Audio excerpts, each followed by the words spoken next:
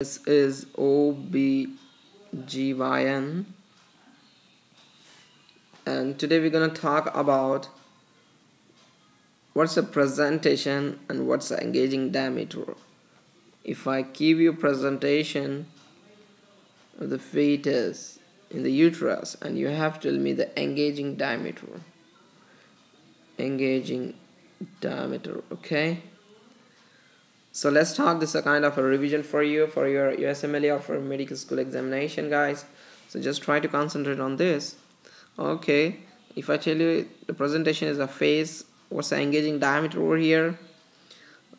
Look there are two possibilities. If there's a partially extended head then it's a submento vertical submento vertical okay and if it's what you call in a fully extended head it is gonna be submento bregmatic submento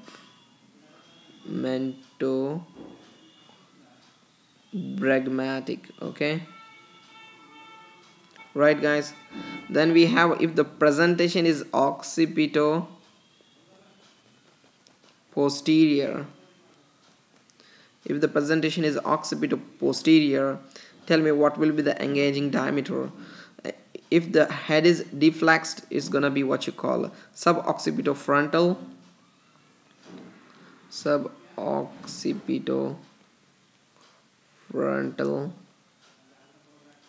and if the what you call uh, deflexed if the deflexed head is further deflexed means more deflection of the head then the presenting the engaging diameter will be occipitofrontal occipito frontal okay? Then we have brow presentation. If the presentation is a brow brow presentation what will be the engaging diameter is a mento vertical mv mento vertical mento vertical okay guys? Really very important. Okay if there is what you call a breech presentation breech okay breech in the what you call breech presentation is gonna be bitrochanteric bitrochanteric okay?